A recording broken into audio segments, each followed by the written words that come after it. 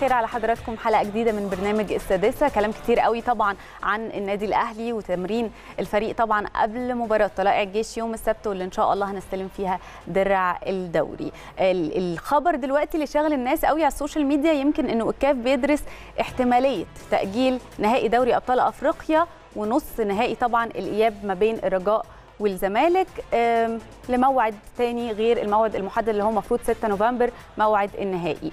الناس مشغولة جدا في آراء كتير جدا مختلفة إنه إذا كان ده في صالحنا مش في صالحنا في قلق حاصل شوية على السوشيال ميديا بس ايا كان اللي هيحصل المفروض الأمر ده يتأكد النهارده أو بكرة بالكتير ايا كان اللي هيحصل كل اللي يهمنا إن إحنا مركزين. إحنا مش أول مرة المباريات تتأجل اتأجلت قبل كده وشفنا أداء رائع من النادي الأهلي. كل اللي يهم الفترة الجاية إن الفريق يفضل في تركيزه سواء كانت المباريات هتتلعب في ميعادها أو بعد كده لازم تكون اللعيبة والجهاز الفني في كامل التركيز. وأكيد في إيجابيات وفي سلبيات لموضوع التأجيل ده يا أحمد.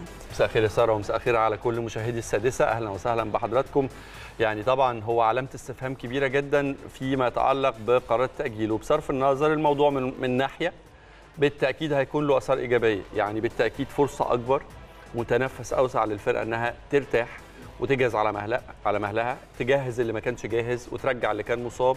كل ده كويس جدا.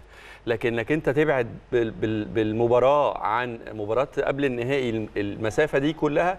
والأهم بقى في الموضوع ودي علامة الاستفهام المهمة بجد اللي أنت تحاول تدور ليها يعني على إجابة ما تلاقيش. يعني إحنا بنتكلم على إنه في مواعيد مقترحة في العشرة الأواخر من نوفمبر يعني أو ممكن 18 19 بس لما تشوف أجندة دولية وتشوف ماتشات منتخب مصر ده مستحيل. ومستحيل يتأجل يومين ثلاثة يعني مستحيل ترحله من 6 ل 8 أو ل 10 ده هيبقى صعب جدا لأنه برضو أنت عندك أجندة دولية وعندك منتخبات بتستعد وبتجهز لماتشات. إحنا عندنا مثلا توجو 14 و17 فبالتالي هتروح فين؟ والاحتمال المرجح أكتر يعني أو اللي نسبته يمكن يمكن تكون أكبر إنك تروح لبعيد أو تروح بقى إيه؟ يعني 23 25 نوفمبر ودي مسافة كبيرة جدا وفاصلة الحقيقة. يعني أنا بيتهيألي إحنا كده تقريبا دخلنا سيزون تاني.